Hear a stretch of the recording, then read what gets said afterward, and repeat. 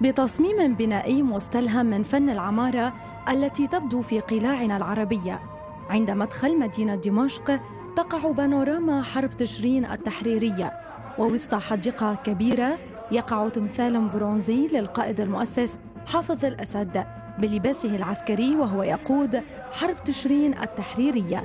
ومن خلفه غلاف معماري لمشهد تصويري يجسد صورة حية عن المعارك البطولية التي جرت في السادس من تشرين الأول عام 1973 يتضمن متحف البانوراما ساحتين لعرض الأسلحة. في الساحة الأولى تتوضع بعض النماذج من الأسلحة والعتاد السوري التي استخدمت في حرب تشرين. وفي الساحة الثانية نماذج الأسلحة والعتاد الإسرائيلي التي استخدمها العدو والتي تم الحصول عليها بصفة غنائم حرب. خلال المعارك القتالية ضد العدو الصهيوني.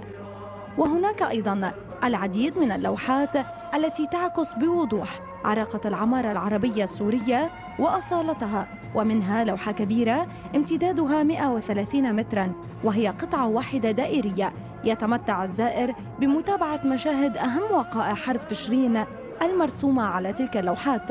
وخلال عشرين دقيقة من الجلوس داخل قاعة الديكو دراما ترافق تلك المشاهد مؤثرات صوتية وشروح عن المعركة مع الموسيقى. وفي أسفل اللوحة مجال مليء بالشواهد والمجسمات العينية التي توحي بواقعية المشهد ومصداقيته. وأيضا قاعة البانوراما التي تحتوي بانورامية حية تمثل حرب تشرين التحريرية.